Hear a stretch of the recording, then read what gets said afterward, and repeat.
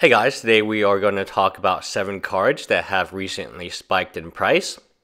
And it's a good discussion because we can review cards that have gone up in price already and take a look at what characteristics and what certain circumstances cause the price to go up on this card. So we will start with Food Chain from Mercadian Masques, a much older set. It started at $4 just four years ago. Not even four years ago, let's say three and a half years ago, it was $4. Then it kept getting better and better and better. Like I said, Snapcaster is very good because there will always be more instants and sorceries printed, and some of them will be good to flash back. The same that can be said about Food Chain.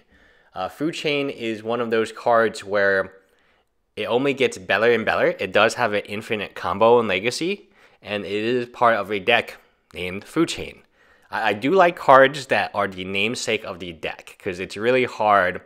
It it's not hard. I guess it's name recognition. So when that deck becomes popular, like Food Chain is becoming semi-popular in Legacy, people will be like, "Oh, Food Chain, the card." No, no, the deck. So that's why I like Melira Pod. I when before it was banned, I like Melira combo because it's the name of the deck or Death Shadow it's the name of the deck. Next, Life of the Loam. This is not a mystery. Uh, this is actually quite interesting because it is in a dual deck, and that dual deck itself is under $20 MSRP. Golgari Grave-Troll did get banned, so as soon as it was banned, I saw the dual deck just drop in price, just plummet in price.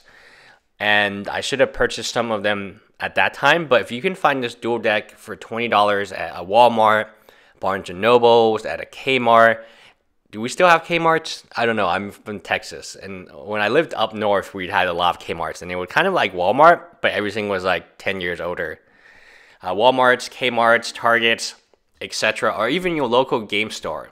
They might have this for $20. Life from the Loam itself is 20 plus dollars. So it's worth picking up. Plus, you get Golgari Grave-Troll. You get a lot of Dredge cards. Uh, Dredge was completely, not completely, but it was it lost its best card in Golgari Grave-Troll again, so they unbanned it only to ban it. Still, still a viable legacy card, so I don't dislike it. But the reason this card has gone up in price is because of the cycling land, and we are in a set of cycling cards, and having cycling land is going to influence some of the cards on this particular list. Next, Melira, Princess Melira. There was a time you could buy her for less than a dollar.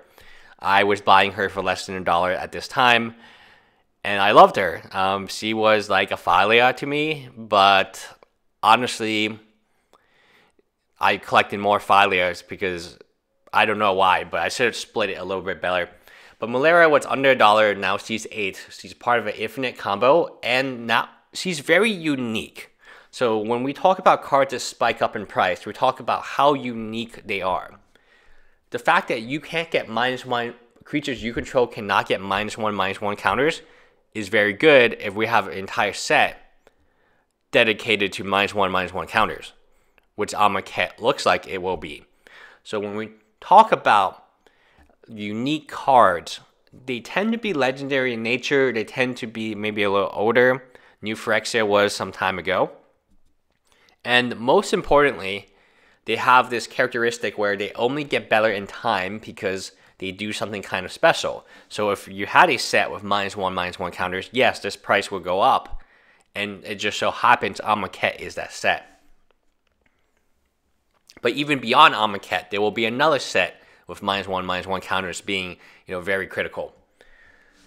Splendid Reclamation. Uh, we got this. Um, I got an email from one of my former Patreons, one of my subscribers, Bobby, and he was buying this card out. Obviously, it's good because you have cycling land. You cycle the land, you cycle the land, and then you play this card, and all your land come back and play. So it reads, return all lands from your graveyard to the battlefield tapped. That's pretty good for four, especially if you can get um, what's that? What's that card? One in a red, you discard two cards, draw three cards. That seems very good here. And you play red green. I would love to play that with the cycling land because not only do you naturally cycle, but you're also naturally discarding land, and you can just play this and get them all back. Very interesting card. It does work with fetch lands quite well because it's all land. It's not all non-basic land, which would make the card, which is probably what they wanted to make the card say, but it's all land. So let's say in modern is a little slow, but you could fetch, fetch, fetch, bring back all your fetches and keep continuing to fetch for a huge amount of land on turn four. Overall, pretty good card. Definitely not the 50 cent bulk card anymore, but definitely not the $7 card that it started out with. Now, restore balance. So they changed the ruling on the cards. Uh, on the cards like Brain in a Jar, which, you know, Isochron Scepter. We've had these cards for a very long time. So when I was making a video about how the split fuse worked, I was quite surprised when people didn't get it because we've had this type of effect since Isochron Scepter and Fire and Ice, right? That's been played so many times in the past, and in EDH it's played quite often. So Restore Balance is one of these cards with Suspend and it hasn't gone down in price. It's gone up in price because everything else has gone down in price. Restore Balance is not necessarily in that same deck that plays the you know the brain in a jar, the uh, expertise, and now the Amonkhet cards seem to be kind of pushing this split mechanic. Restore Balance is more like Ancestral, uh, Ancestral Visions, not Visions. Um, the one for one blue, and then you draw free cards to spend four. It's called Ancestral something, but oh yeah, it's Ancestral Visions. The other one's Ancestral Recall, the pricey one. But it's not. It's more like that than it is like a split fuse card. And lastly, well, I guess we got two cards left. Ad nauseam. Ad nauseam is one of these decks that it's kind of like the Dredge deck. Sometimes it just goes up in price, and sometimes pieces just spike because it is a tier 2 deck. And when we look at tier 2 decks, as soon as they do good at a tournament, they go up a tiny bit in price, or one card in particular goes up in price. Again, the name of the deck is Ad Nauseam. And you might say, oh, that doesn't matter, right? Death Shadow, Death Zoo. It does matter because whenever the deck does really well and people hear about it, the first card they think about in Ad Nauseam is Ad Nauseam. The first card they think about in Pod before it was banned was Melira.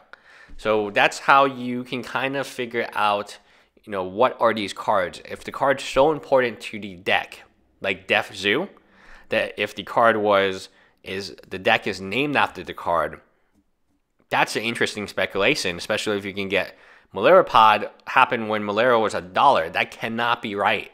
There has to be price correction for that. When Melira Pod is one of the top I would say tier one decks at the time. At, when the namesake is a dollar, you got in the same can apply for Death Shadow. I know it got hit recently, and it's not exactly time to buy.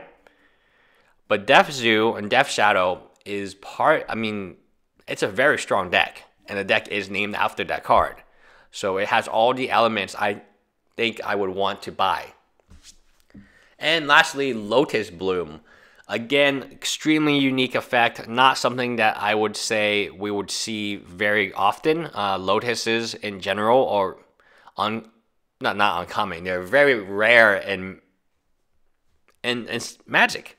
Because Lotus, Black Lotus, being the first Lotus, was the most iconic card in Magic. So whenever they print a Lotus or a Mox, and you have that name recognition, you can be sure that, generally speaking, it's going to be a good card.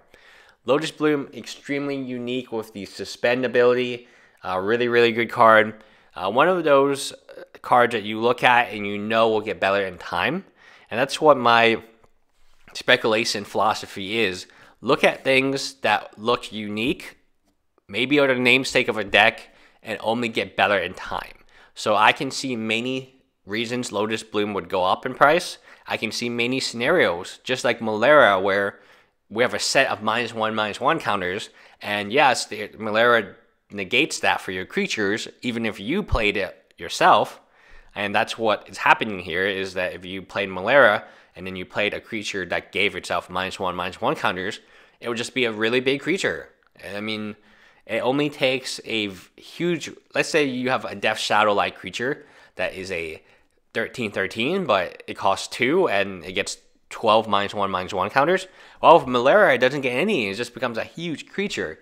So that's why she got, has gone up in price, and that's why when we look at these seven cards, they only get better in time, and they're all quite unique at what they do. So anyway, uh, let me know if I missed any cards this week, or if you want me to talk about any cards. I do like this format a little bit. It does um, having seven cards. I'm sure is better than having one video, one card, seven videos. I'm sure you guys appreciate that. Anyway, leave me a comment below. Bye, guys.